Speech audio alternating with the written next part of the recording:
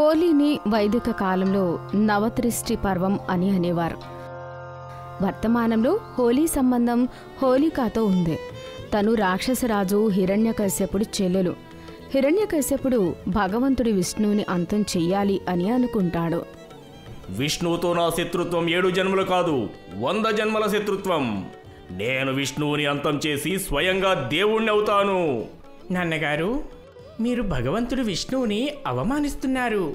ప్రహ్లాదా నువ్వు విష్ణువుని పూజించి మీ నాన్నని అవమానిస్తున్నావు. ప్రహ్లాదుడు అతని తండ్రికి ధర్మం గురించి ఉపదేశమిచ్చి అక్కడి నుంచి వెళ్ళిపోతాడు. హిరణ్యకశ్యపుడు ప్రహ్లాదుడు విష్ణు భక్తుడు అవడం వల్ల చాలా కోప్పడతాడు ఇంకా కంగారు పడతాడు. ప్రాణహంత అతను అసురసేన యొక్క సేనాపతి. హిరణ్యకశ్యపుడి కోపాన్ని ఇంకా పెంచాలనుకుంటాడు. మహారాజా ప్రహ్లాదుడు చెప్పిన మాటలకు సమాధానం ఇవ్వడం ఇప్పుడు అవసరం. అప్పుడే ప్రజలు మిమ్మల్ని గౌరవిస్తారు. నన్ను భగవంతుడిగా పూజించని అందరినీ కూడా వధించండి. హిరణ్యకశ్యపుడు ప్రహ్లాదుడిపైన అత్యాచారం చేసి అతని భయపెడుతూ ఉంటాడు. కానీ ప్రహ్లాదుడు మాత్రం అతన్ని భగవంతుడిలా స్వీకరించడు. సమయంతో పాటు హిరణ్యకశ్యపుడి అత్యాచారం కూడా పెరిగిపోతూ ఉంటుంది. అతను ప్రహ్లాదుణ్ణి పర్వతంపై నుంచి కింద పడేస్తాడు. నదిలో పడేస్తాడు. అయినా కూడా ప్రతిసారిలానే అతని ప్రయత్నం ఫలించలేదు. భగవంతుడు శ్రీ విష్ణువు ప్రతి శని యంత్రం నుంచి అతని భక్తుని కాపాడుతూనే ఉంటాడు. ప్రహ్లాదుడు విష్ణుదేవుణ్ణి భగవంతుడిలా భావించి అతని జపం చేస్తూ ఉంటాడు. ఓం నమో భగవతే వాసుదేవాయ నమ. ఓం నమో భగవతే వాసుదేవాయ నమ. దేవఋషి నారదుడు ఇదే విషయం గురించి చర్చించడానికి బ్రహ్మదేవుడి శరణాల దగ్గరికి వెళ్తాడు. నారాయణ నారాయణ. ప్రణామాలు పితాశ్రీ. ప్రణామాలు నారదా. బ్రహ్మదేవ నాకు ప్రహ్లాదుడు గురించే చాలా చింతగా ఉంది. హిరణ్యకశికుడు అతని కొడుకుకి శత్రువులా మారాడు. మీరిచ్చిన వరం వల్ల అతను స్వయంగా భగవంతుణ్ణి అనుకుంటున్నాడు రాక్షసులందరూ అమరుడను అజేయుడను అనుకుంటారు. అది వాళ్ళ వినాశనానికి ముఖ్య కారణం. అంటే దాని అర్థం ఇక అతన్ని వధించాల్సిన సమయం వచ్చేసిందనే. ఆ నారదా హిరణ్యకశుకుడి అంతం నరసింహస్వామి చేతుల్లో జరుగుతుంది. నారాయణ నారాయణ! ప్రహ్లాదుని విష్ణు భక్తి రోజురోజుకి పెరిగిపోతూ ఉంటుంది. హిరణ్యకశ్యపుడి చెల్లెలు హోలిక ప్రహ్లాదుడి హత్య కోసం ఒక విచిత్రమైన పన్నాగం వేసి మహల్లోకి వస్తుంది. చిల్లెలా హోలిక అసురమహల్లోకి స్వాగతం. అన్నయ్య హిరణ్యకశ్యప్ నేను నీకోసం ఒక పరిష్కారాన్ని తీసుకుని వచ్చాను. అంటే దాని అర్థం ప్రహ్లాదుణ్ణి చంపే ఉపాయం నీ దగ్గర ఉందా? హా అన్నయ్య మీకు తెలుసు కదా నా దగ్గర ఒక వరమున్న వస్త్రం ఉంది అని. ఆ వస్త్రాన్ని నేను దుప్పటిలా కప్పుకొని నేను అమరురాలిని అవుతాను. ఆ హాలిక! నాకు తెలుసు ఆ మాయా దుప్పటి నిన్ను కాపాడుతుందని. నేను అదే దివ్య దుప్పటి కప్పుకొని ఆ నిప్పు పైన కూర్చుంటాను. ఇంకా ప్రహ్లాదుణ్ణి నా వళ్ళో కూర్చోబెట్టుకుంటాను. ఆ నిప్పు ప్రహ్లాదుణ్ణి కాల్చి బూడిద చేస్తుంది. ప్రహ్లాదుడు చనిపోతాడు. నేనేమో తప్పించుకుంటాను అన్నయ్య. ఎలా ఉంది? చెప్పు నువ్వే. హోళిక ఆలోచనకి హిరణ్యకశ్యపుడు ప్రసన్నుడవుతాడు. సేనాపతి మీరు విశాలమైన ఒక అగ్నిగుండాన్ని ఏర్పాటు చేయండి. ఆజ్ఞ మహారాజా. మరుసటి రోజు నగరంలో ఒక విశాలమైన అగ్నికుండలి ఏర్పాటు చేస్తారు. హోళిక తన చమత్కారమైన ఒక దుప్పటి కప్పుకొని వస్తుంది. పుత్ర ప్రహ్లాద నేను మీ నాన్నగారి అయిన కారణంగా నీకు ఒక ఆఖరి అవకాశాన్ని ఇస్తున్నాను. విష్ణు భక్తిని నువ్వు వదిలిపెట్టు. నన్ను పూజించు నిన్ను బ్రతికిస్తాను. క్షమించండి నాన్నగారు. నేను విష్ణు భగవంతుణ్ణి ప్రార్థించడం వదిలిపెట్టను. అయితే చావడానికి సిద్ధంగా ఉండు నువ్వు. హోళిక హిరణ్యకశ్యపుడితో కలిసి తన చమత్కారమైన దుప్పటి కప్పుకొని అగ్నికుండలి దగ్గరికి వెళ్తుంది. అసుర సైనికులు ప్రహ్లాదుణ్ణి హోళికాకి పట్టిస్తారు. నాన్నగారు నేను మీకు నా చావు వల్ల వచ్చే పాపాన్ని అంటనివ్వను. విష్ణు భగవంతుడు మిమ్మల్ని క్షమించాలి. ఓం నమో భగవతే వాసుదేవాయ నమః.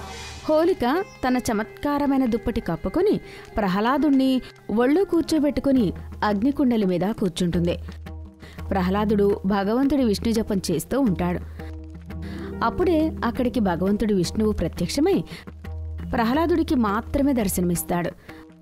ఆయన చేతుల్లో నుండి ఒక దివ్య ప్రకాశం బయటకొస్తుంది. దాని నుండి వేగంగా గాలి వీస్తూ ఉంటుంది. ఆ గాలి వల్ల హోలిక చుట్టుకున్న దుప్పటి హోలిక మీద నుండి జరిగి ప్రహ్లాదుడి మీద పడుతుంది. అన్నయ్య కాపాడండి. అన్నయ్య నన్ను కాపాడండి. ఈ అగ్ని నన్ను దహించి వేస్తోంది. తట్టుకోలేకపోతున్నాను. కాపాడండి. చెల్లి హోలిక మనకు అన్యాయం జరిగింది. హోలిక అగ్నికుండలిలో కాలి బూడిదైపోతుంది. భగవంతుడి విష్ణువు ఆయన లీలతో భక్త ప్రహ్లాదుణ్ణి సురక్షితంగా కాపాడుతాడు. ప్రహ్లాదుడు భగవంతుడి విష్ణువుకి ప్రణామాలు చెప్పుకుంటాడు. భగవంతుడి విష్ణువు అతనికి ఆశీర్వాదాలిచ్చి అక్కడి నుంచి అదృశ్యమైపోతాడు. విష్ణుదేవుడి లీలలు చూసి నారదుడు మళ్ళీ బ్రహ్మదేవుడి దగ్గర ప్రత్యక్షమవుతాడు. నారాయణ నారాయణ బ్రహ్మదేవా విష్ణుదేవుని లీలలు చూస్తుంటే ఇప్పుడు హిరణ్యకశకుడు తన ఓటమిని ఒప్పుకోవాల్సిందే. లేదు నారదా హిరణ్యకశికుడు అంత సులువుగా తన ఓటమిని ఒప్పుకోడు. అంటే దాని అర్థం అతడు ప్రహ్లాదుణ్ణి ఇంకా కష్టపెడతాడా? ఆ నారదా ప్రహ్లాదుణ్ణి క్షమించడానికి ఇప్పుడు విష్ణువు నరసింహస్వామి రూపం ఎత్తాల్సిందే.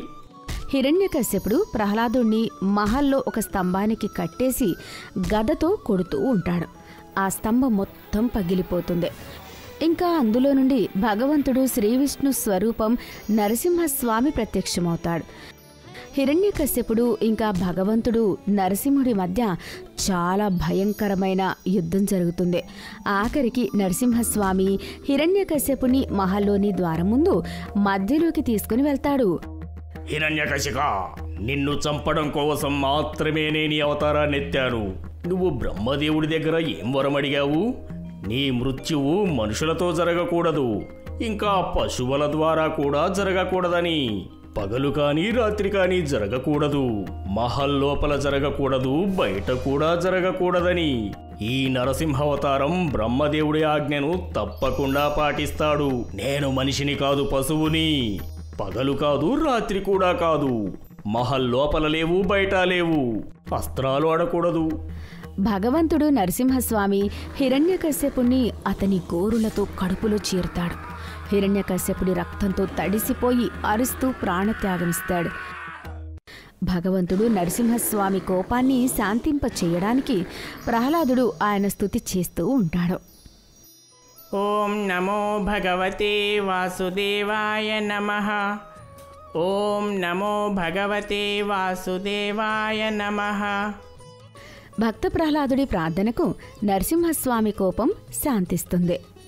ఇంకా నరసింహస్వామి భక్త ప్రహ్లాద ఈ లోకం ఉన్నంత వరకు హోళికా దహనం నడుస్తూనే ఉంటుంది. హోళికా నిప్పులో కోపము క్రోధము అహంకారము దుర్మార్గము దుష్టబుద్ధి అన్నీ కాలిపోతూ ఉంటాయి. హోళీ అంధకారంలో విజయం యొక్క ప్రకాశం లాంటిది. అధర్మం పైన ధర్మం గెలుపు యొక్క ప్రమాణం. హిరణ్యకశికుడు యొక్క వధ ప్రహ్లాదుడికి జేజేలు. ప్రహ్లాదుడు భగవంతుడు నరసింహస్వామికి మనస్ఫూర్తిగా ప్రణామాలు చెప్పుకుంటాడు. భగవంతుడు నరసింహుడు ఆయనకి ఆశీర్వాదాలిచ్చి అక్కడి నుంచి అదృశ్యమైపోతాడు. హోలీ రంగులను పంచే పండుగ. హోళీ పండుగ జరుపుకోండి. భక్తి కూడా పంచండి. ప్రేమ భావాల జ్యోతిని వెలిగిస్తూనే ఉండండి. ఇంకా ధార్మిక కథల రంగోలి ఆర్డీసీ డివైన్ ఛానల్లో లైక్ కామెంట్ ఇంకా సబ్స్క్రైబ్ చేసి ధార్మిక సమాచారాన్ని పంచడానికి సహాయం చేయండి.